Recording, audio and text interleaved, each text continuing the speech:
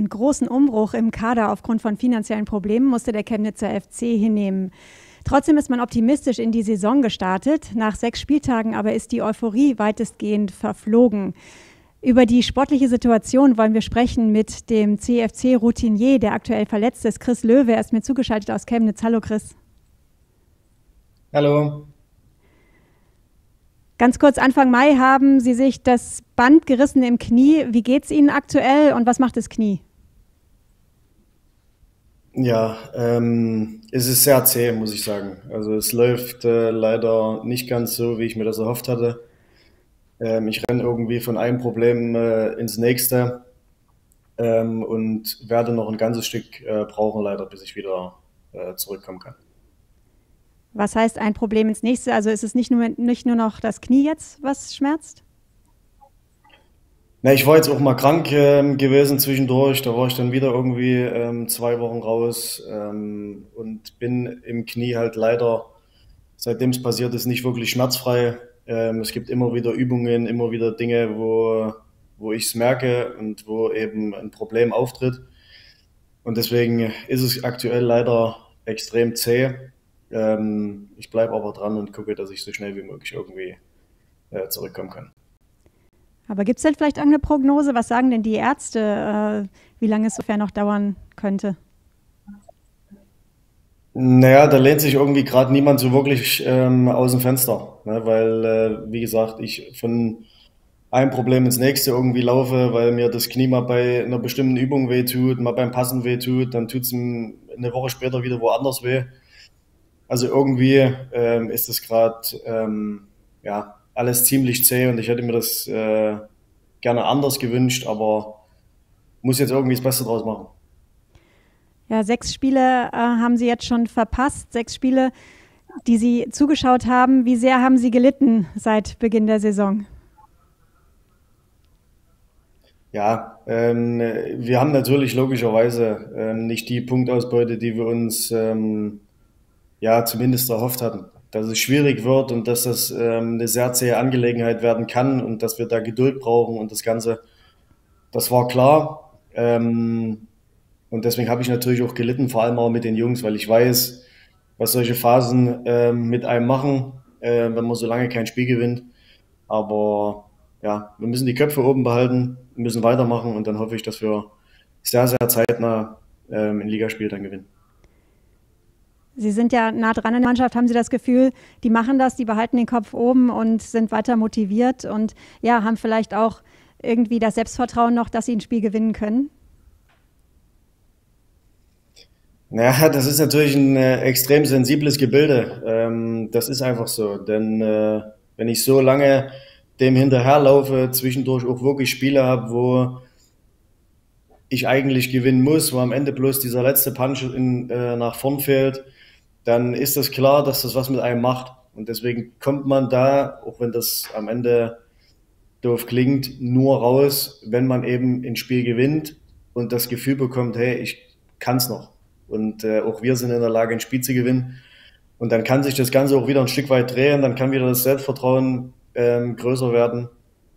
Und dann äh, haben wir auf jeden Fall genug Qualität in der Mannschaft, um äh, mal mindestens zwei Mannschaften hinter uns zu lassen.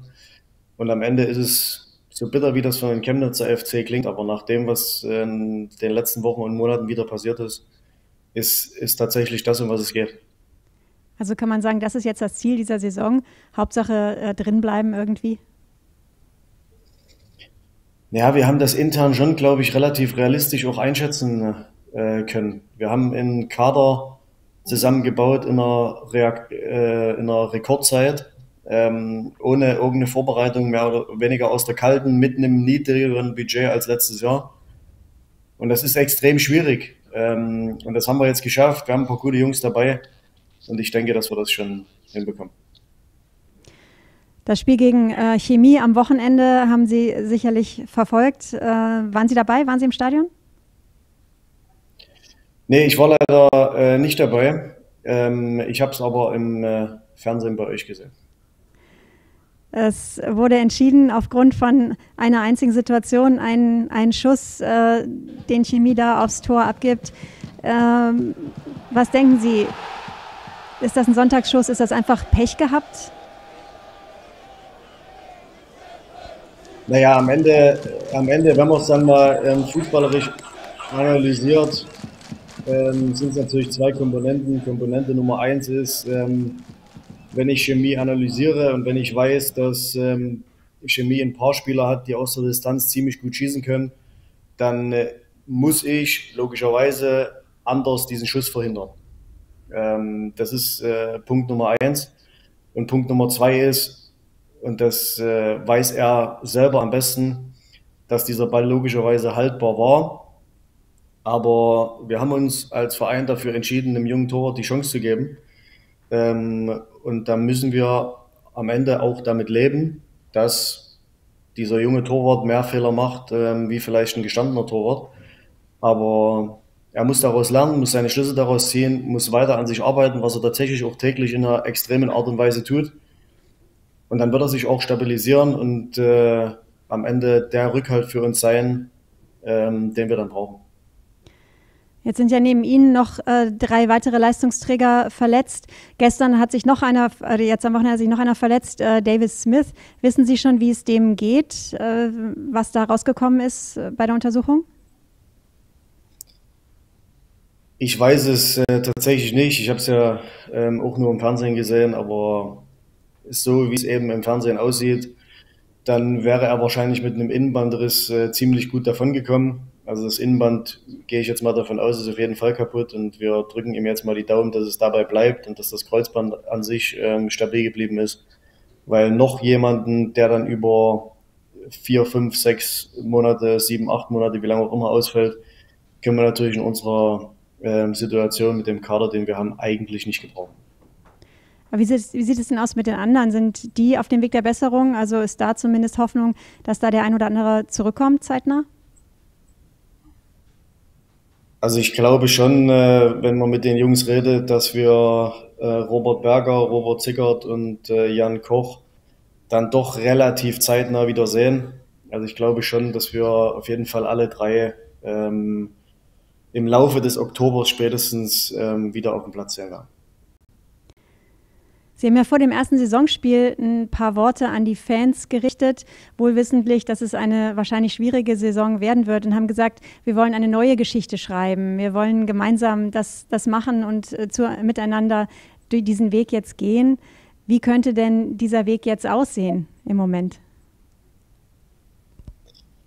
Naja, der Weg oder das, was ich ähm, gesagt habe, hat sich natürlich ähm, vor allem auch ähm, daran ge gewendet, was quasi im Verein passiert. Also das bedeutet, ähm, dass wir da jetzt mit äh, Uwe Hildebrand jemanden äh, ähm, sitzen haben, der quasi probiert, das Ganze mal aufzurollen, was passiert ist ähm, mit seiner Geschäftsstelle. der probiert, diese finanziellen Themen in den Griff zu kriegen, der probiert, ähm, Budgets für die nächsten Jahre ähm, aufzustellen, wo wir dann wirklich mal wieder ähm, realistischerweise darüber sprechen können, ähm, auch eine Liga hochzugehen. Aber über allem steht natürlich logischerweise, dass wir dieses Jahr sportlich eine extrem schwierige Situation haben ähm, und dass es wirklich dieses Jahr einfach bloß darum geht, in dieser Liga zu bleiben. So bitter wie das für alle ist, die ähm, mit dem Chemnitzer Fußball irgendwie verbunden sind, aber das ist es, um was es geht. Dieses ganze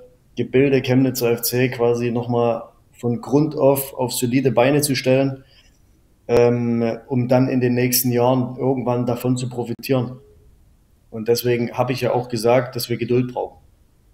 Und da haben vielleicht am ersten Spieltag viele gedacht, naja, Geduld, aber man sieht es jetzt, dass es so ist. Wir brauchen Geduld und wir müssen vor allem zusammenhalten, weil jetzt die richtigen Leute am Werk sind, man das merkt, ähm, dass da ein Stück weit auch was zusammenwächst, auch wenn die Ergebnisse äh, aktuell fehlen. Aber das ist das, was wir brauchen. Und wenn wir das schaffen über dieses Jahr hinweg, dann glaube ich schon, dass der Chemnitzer Fußball wieder ähm, einer erfolgreichen Zukunft entgegensteuert. Sie hatten ja gesagt, es fehlt jemanden, der dann da vorne mal den Punch setzt. Gibt es denn die Hoffnung oder ja die Möglichkeit, äh, diesen jemanden, der da noch fehlt, vielleicht doch noch zu verpflichten? Das weiß ich nicht, aber ich glaube tatsächlich auch, dass wir das gar nicht brauchen, weil wir haben mit äh, Dejan Bosic jemanden ähm, von drin, der, glaube ich, in allen Spielen, die er jetzt gezeigt hat, ähm, ähm, was er für eine Qualität hat gesamt. Also der ist beidbeinig, der ist groß, der ist kopfballstark, der kann die Bälle gut festmachen. Das Einzige, was ihm fehlt, ist so ein Tor aus dem Spiel heraus, weil den Elfmeter äh, zählen wir jetzt mal nicht mit rein. Ähm, und ich glaube, wenn das einmal passiert, dass auch bei ihm die Möglichkeit da ist, dass der Knoten dann komplett platzt und dann ist er ein Stürmer, der macht ja 10 plus Tore. Ähm, und das ist das, was wir brauchen.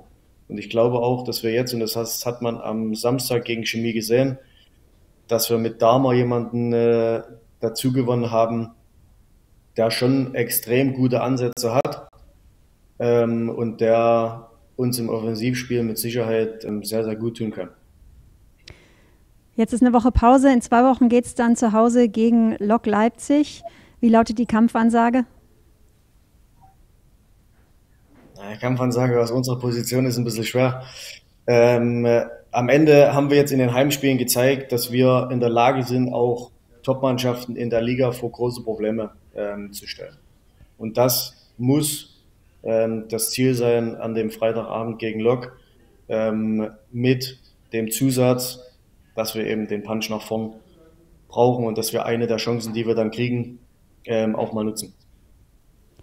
Dann wünschen wir alles Gute, vor allem gesundheitlich alles Gute auf dem Weg zurück auf den Platz und ja, vielen Dank, dass Sie sich die Zeit genommen haben. Vielen lieben Dank. Und damit sind wir am Ende des Talks. Vielen Dank für Ihr Interesse und machen Sie es gut. Tschüss, auf Wiedersehen.